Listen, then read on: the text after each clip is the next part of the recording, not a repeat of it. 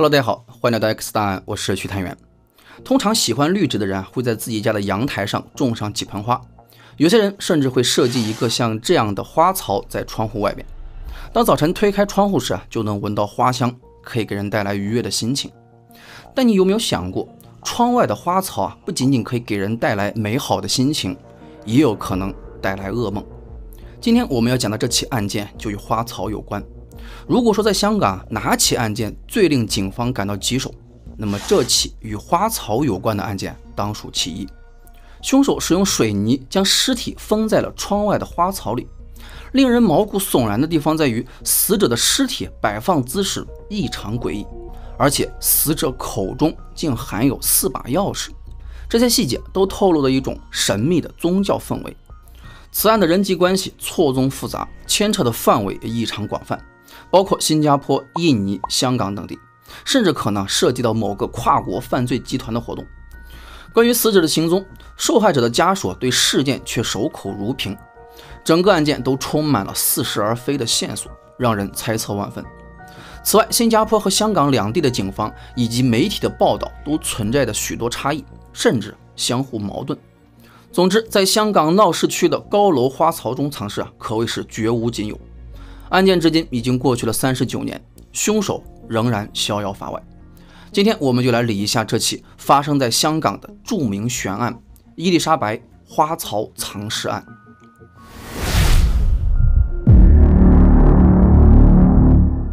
这起案件发生在位于香港铜锣湾的伊丽莎白大厦，该建筑啊最初只是一栋商用办公楼，但在一九七八年发展成了一个集商场、办公室和住宅为一体的多功能大厦。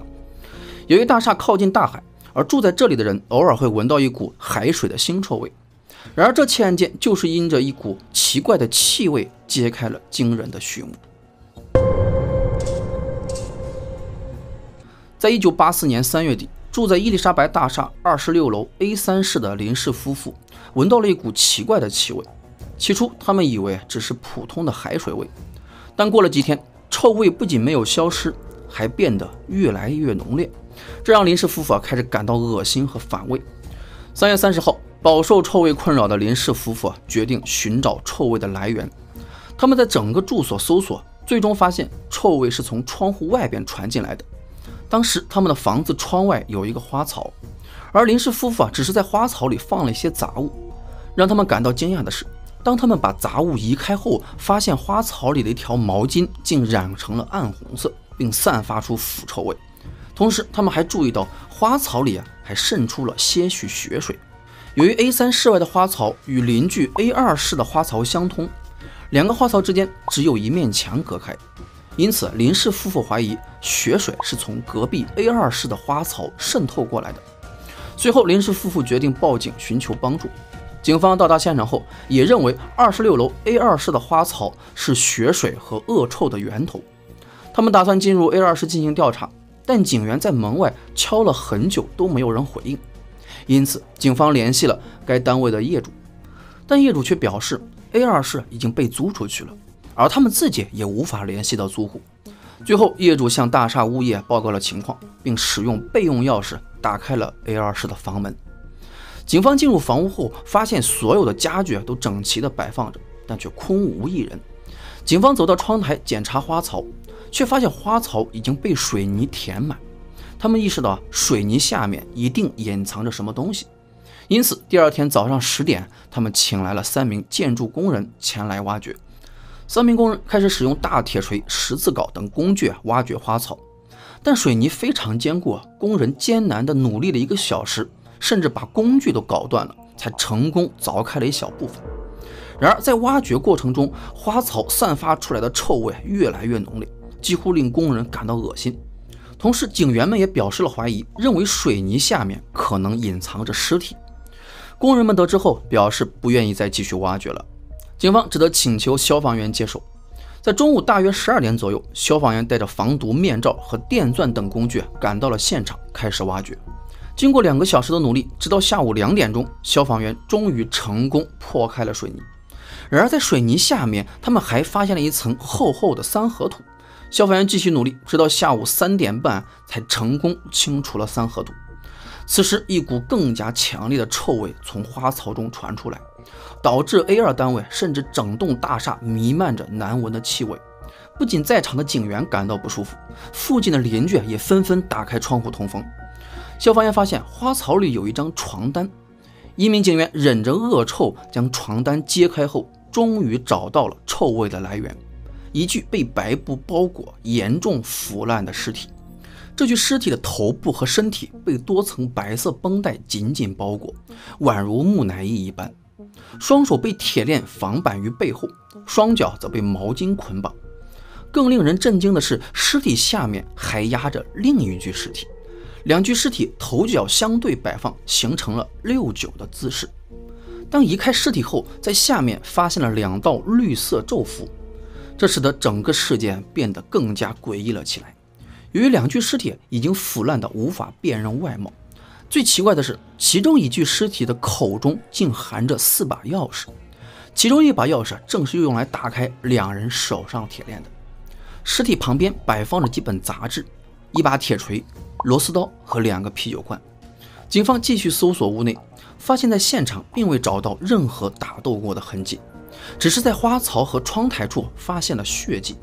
另外，警方还在厨房发现了水泥和三合土，他们相信这是凶手藏尸之后留下的。随后，警方紧急召来了法医进行调查。根据法医的推测，两名死者是中年的亚洲男性，身上有明显的伤痕，颈部有被勒伤的痕迹，推测两人是被勒死。根据尸体腐烂的程度，法医推测他们已经死亡超过了十天，但不超过一个月。此外，法医在尸体的胃部发现了安眠药的成分，怀疑两人是被强行灌药后才被勒死。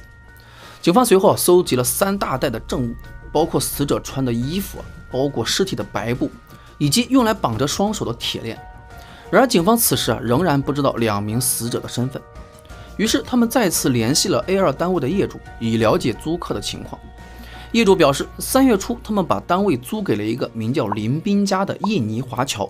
年龄大约四十岁，讲着一口流利的广东话。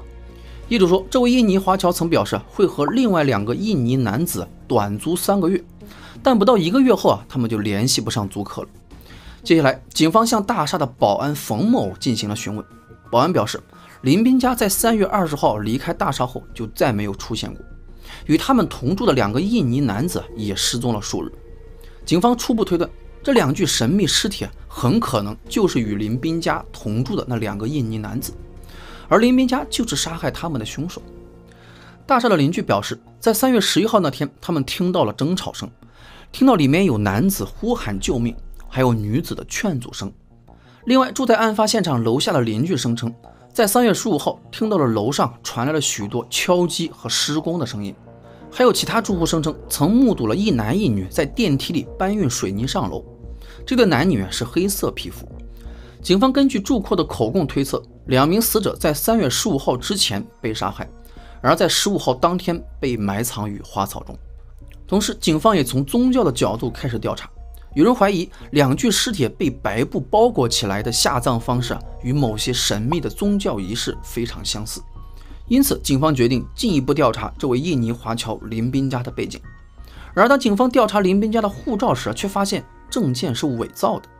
这就意味着，警方不仅无法确定林斌家的宗教背景，甚至连他的真实身份都成了一个谜团。更令警方困惑的是，他们发现两名死者的身份并不是和林斌家同住的两名印尼男子，而是另有其人。因为在四月三号，警方再次前往案发现场搜查时，意外地发现了一个关键线索。警员在埋藏尸体的花草里发现了一张名片，上面印着“福禄商品私人有限公司谢顺成”的字样。警方进行调查后发现，这是一家新加坡的公司。随后，警方向入境处查询了是否有谢顺成的出入境记录。他们发现，二十七岁的谢顺成和他三十一岁的哥哥谢顺发。最近几个月曾三次来香港，最后一次是在二月二十八号之后就再没有出境记录。他们曾入住尖沙咀的地苑酒店，但从三月二号起就失去了踪影。在案件揭发后，他们的行李仍然留在酒店里。谢顺成和谢顺发两兄弟的失踪时间与尸体死亡的时间非常吻合，因此，警方开始怀疑这两名死者可能就是谢氏兄弟。为了确认这一点，警方立即派出两名警员，携带两名死者的指纹样本和牙齿数据，连夜前往了新加坡进行核实。在第二天，也就是四月四号，经过新加坡当局的验证，证实这两名尸体的真实身份确实是谢氏兄弟。虽然警方已经确认了死者的身份，但这个结果与警方之前的推测完全不同。两名死者并不是与林斌家同住在伊丽莎白大厦的两名印尼男子，那么谢氏兄弟和林斌家之间究竟有什么不可告人的秘密呢？而林斌家是否就是杀害两人的凶手呢？此外，林斌家的真实身份又是什么呢？然而，警方继续深入调查时，却没有如他们预期的那样揭开真相，反而是谜团更加错综复杂。为了寻找真相，警方决定从林斌家和谢氏兄弟的背景入手。令警方惊讶的是，他们发现谢氏兄弟在新加坡有着显赫的身份。原来他们是著名珠宝商谢美兴的子女，是百万金庄珠宝公司的继承人。谢美兴是当地商界的传奇人物，他创建的百万金庄在过去的三十一年里，业务一直蒸蒸日上，并由他的八个子女负责管理七家分店。谢顺发和谢顺成是其中最有能力的帮手，尤其是谢顺成，他是兄弟中最聪明能干的一位，被认为是谢老先生的内定继承人。谢顺发和谢顺成兄弟俩的感情非常好，两人是商界并肩作战的好兄弟。他们于1982年在新加坡经营着一家名为福禄公司的黄金生意。谢氏兄弟的死讯一经传出啊，立即成为了新加坡当地报纸的头版新闻，引起了公众的关注。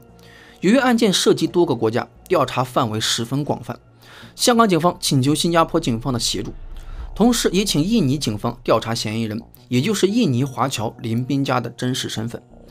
然而，香港、新加坡和印尼三方的调查方向却不一致，导致信息非常混乱。新加坡警方认为此案涉及桃色纠纷和黑帮斗争，但却没有找到证据来支持这一推测。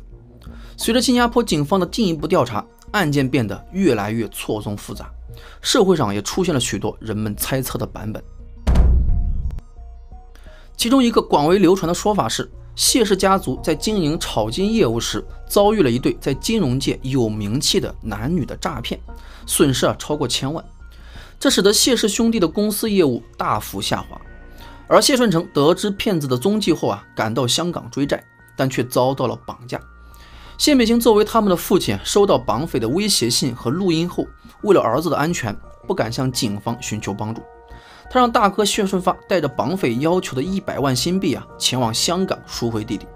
然而不幸的是，谢顺发不仅未能成功的解救弟弟，反而自己啊也被绑架，最终被一起撕票。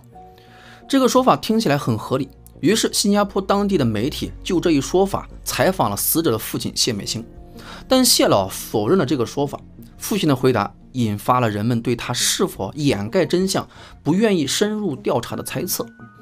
关于这个版本，还有传言说，谢美兴曾在东海岸的豪宅收到了一封勒索信，信中附有谢氏兄弟的手掌和手指残肢的照片，以及兄弟俩求救的录音带。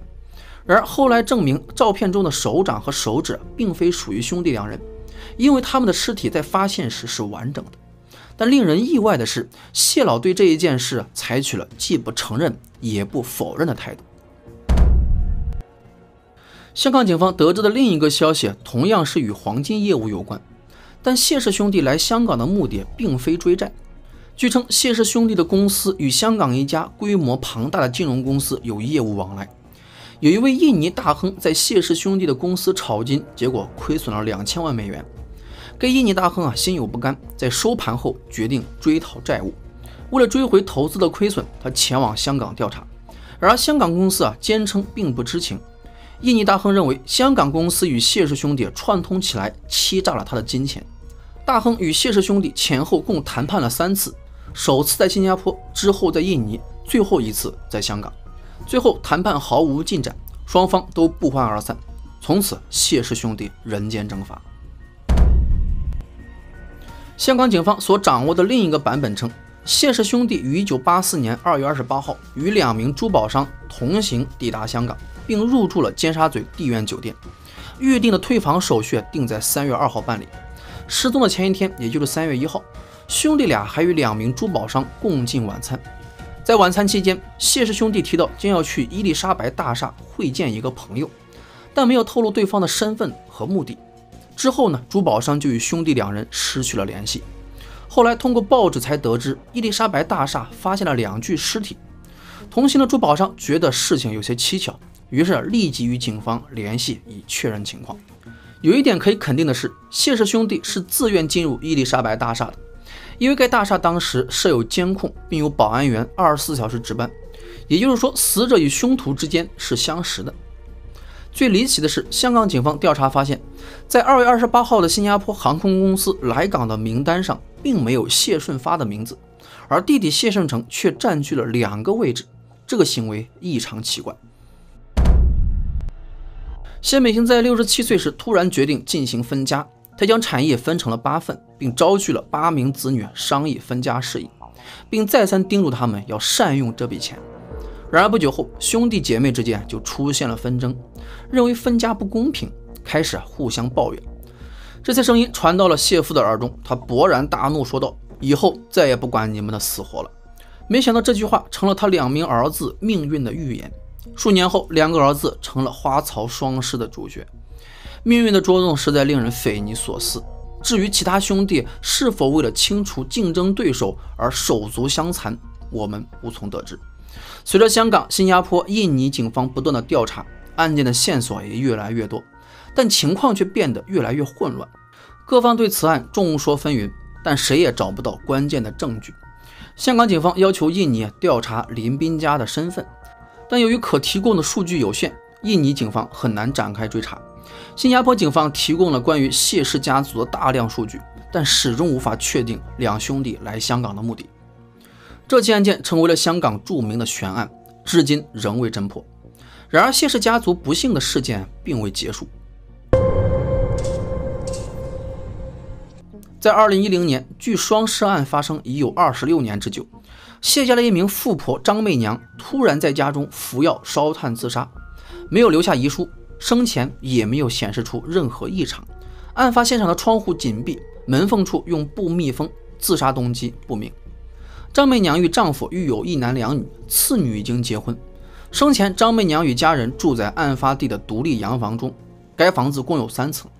平时一家人的活动空间啊，主要集中在一楼和二楼，而三楼有四间密室。自二十六年前花槽双尸案发生后啊，一直被封闭。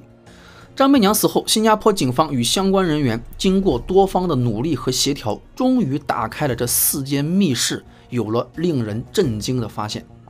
每间房都有一张床，床垫下面压着四个纸娃娃，每个纸娃娃上都写着生辰八字。经过核实，这四份八字啊，正是谢氏兄弟的。但是人们无法确定这些东西是何时被放置在床下的，是在两兄弟死前呢，还是死后呢？不管怎样，这些行为都带有某种邪恶的意图。行内人士称啊，这是一种茅山术，目的是禁锢冤魂。无论是活人还是死人，结果都不会好。这一发现让人们再次想起了二十六年前的花草双尸案件。有人说，张媚年生前对四啊非常着迷，无论是门牌还是车牌都与四有关。而当年双尸案其中一具尸体口中也含有四把钥匙。值得注意的是，无论是当年的双尸案，还是张媚娘的自杀，谢氏家族的兄妹都表现得异常冷漠。而他们冷静的反应是纯粹的隐藏内心的伤痛呢，还是有其他内幕呢？至今仍是一个谜。以上就是目前警方所掌握的相关线索，各位网友可以根据这些线索进行分析一下，你认为案件的真相是什么呢？是债务纠纷遭人绑架撕票了呢，还是手足相残呢？好了，本期视频就到这里，也欢迎各位把你对本起案件的看法打在评论区。我是许探员，我们下期见。